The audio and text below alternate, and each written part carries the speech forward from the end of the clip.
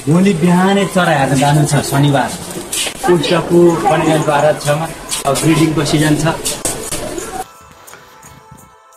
नमस्कार साथीहरू आज म यहाँहरूलाई कोशी टप्पु वाइल्ड लाइफ रिजर्भमा रहेको महत्त्वपूर्ण चराका स्पेसिसहरूको बारेमा जानकारी दिन गइरहेको छु।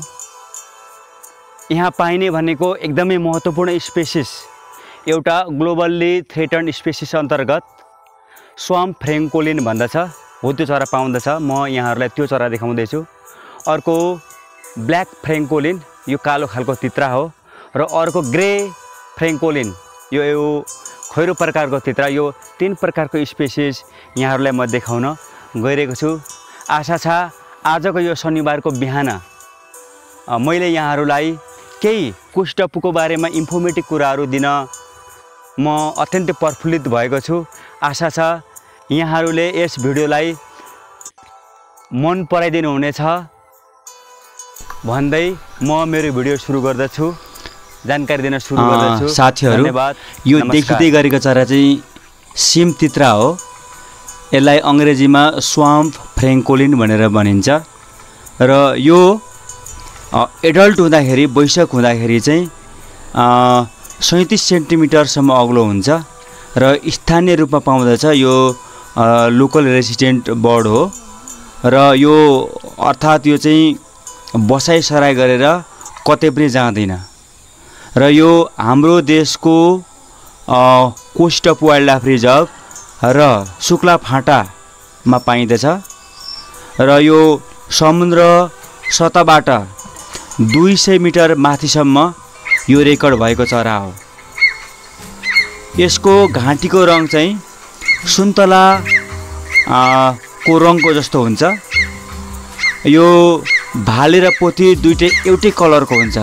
तर पोथी भने यसको ब्याक साइडमा अलिक स्ट्राइप्सहरू चाहिँ अलिक कम देखिने गर्दछ। र यो यसको वासस्थान भनेको पानीको वरिपरि स्वाम्प एरिया। जहाँ ओसिलो जमिन छ यस्तो ठाउँहरूमा चाहिँ यो बसोबास गर्दछ। त्यही भएर पनि यसलाई स्वाम्प फ्रेङ्कोलिन भनेर भनेको। यो अत्यन्तै दुर्लभ चरा हो। यो ग्लोबल्ली थ्रेटन स्पेसिस अन्तर्गत पर्दछ। त्यही भएर यसको संरक्षण गर्नु अत्यन्त जरुरी छ।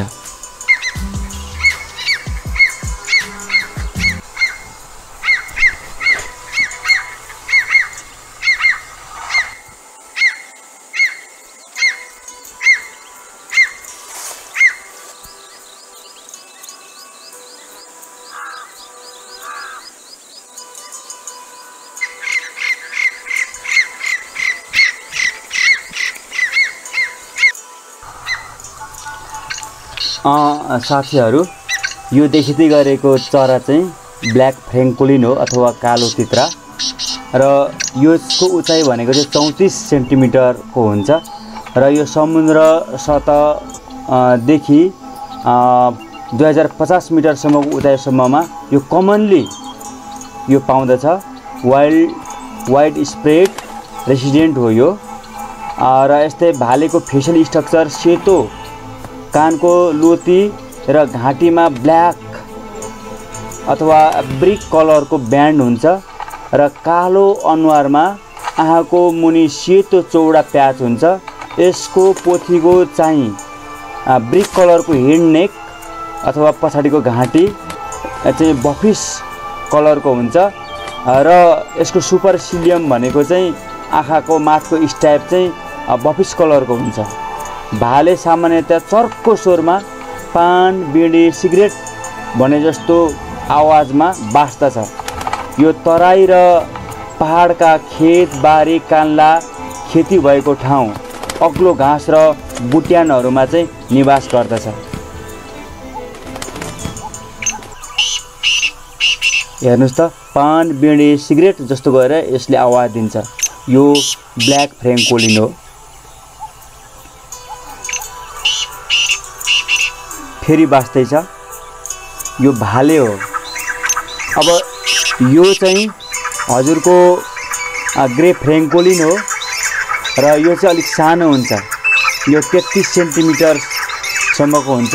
र यो समुद्र सतह आ, देखि दुई सय मिटर माथिसम्म यो पाइन्छ। र यो द्रुत गतिमा चाहिँ एकदमै आवाजले तिखो आवाजले कराउँदछ एकोरो रूपमा र यो सुक्खा घाँसहरूमा? र काँडा घारी भएको ठाउँमा प्रायः यो पाइन्छ।